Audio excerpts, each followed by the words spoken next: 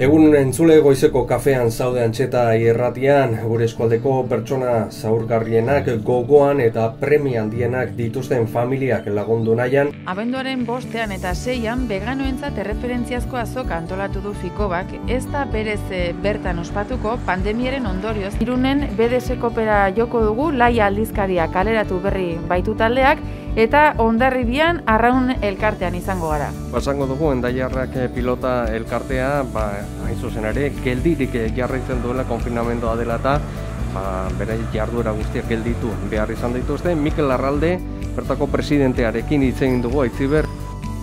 Antxeta irratia, zurekin edonon.